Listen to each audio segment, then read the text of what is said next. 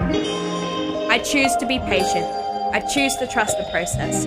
Everything I have visualized, intended, and prayed about and worked on is in the process of manifesting. I'm under no obligation to make sense to you.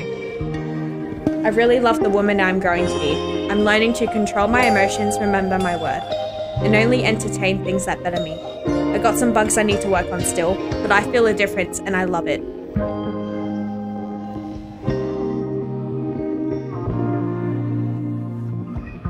Recognize when a phase, job, a life stage, or a relationship is over and let it go. Allow yourself to gracefully exit situations you've outgrown. Don't be so understanding that you let any and everything slide. Create boundaries. Show grace, but don't be stupid. It's not who you are that holds you back. It's who you think you're not. I am enough.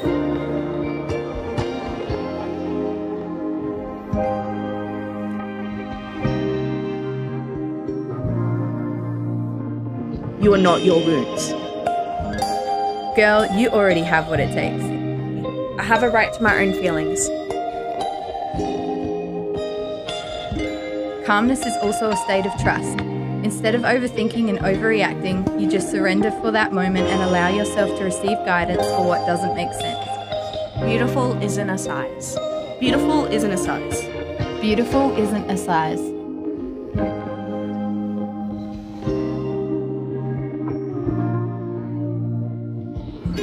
I am daringly showing up to contribute something beautiful and meaningful to this world. I'm slowly learning that even if I react, it won't change anything. It won't make people suddenly love and respect me. It won't magically change their minds. Sometimes it's better to just let things be. Let people go. Don't fight for closure. Don't ask for explanations. Don't chase answers and don't expect people to understand where you're coming from.